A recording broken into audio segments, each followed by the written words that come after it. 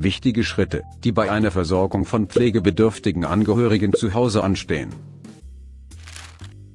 Ein geliebter Mensch wird plötzlich oder bedingt durch sein Alter pflegebedürftig.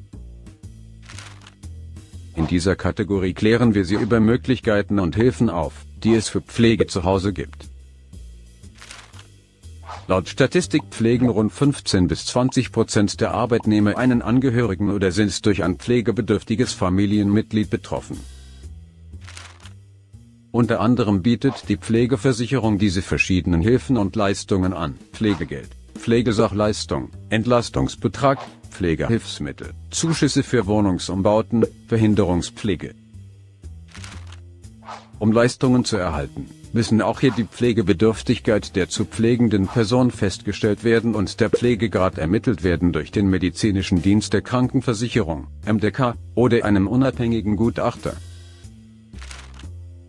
Pfleger und Krankenkassen bieten außerdem kostenlose Hilfe zur Selbsthilfe in Form von Pflegekursen und Beratung an. Laut Gesetz hat häusliche Pflege Vorrang vor einer Versorgung in einer stationären Pflegeeinrichtung. Die Pflege zu Hause lässt sich in folgende Kategorien unterteilen. Ambulante Pflegedienste, Pflegekräfte und Haushaltshilfe, Tages- und Nachtpflege, Kurzzeitpflege, Verhinderungspflege, außerklinische Intensivpflege für Schwerstkranke und Reha. Die Tages- und Nachtpflege wird von ambulanten Pflegediensten und Pflegeheimen durchgeführt. Diese Betreuung ist täglich oder an einzelnen Tagen in einer ambulanten Betreuung möglich.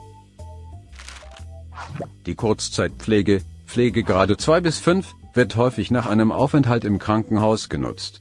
Aber auch bei einer erforderlichen intensiven Pflege für eine gewisse Krisenzeit ist die Kurzzeitpflege eine Möglichkeit.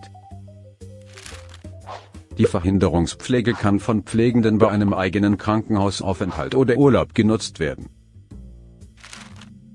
Zahlreiche Institutionen bieten für die Entlastung von Pflegenden zahlreiche Unterstützungen an.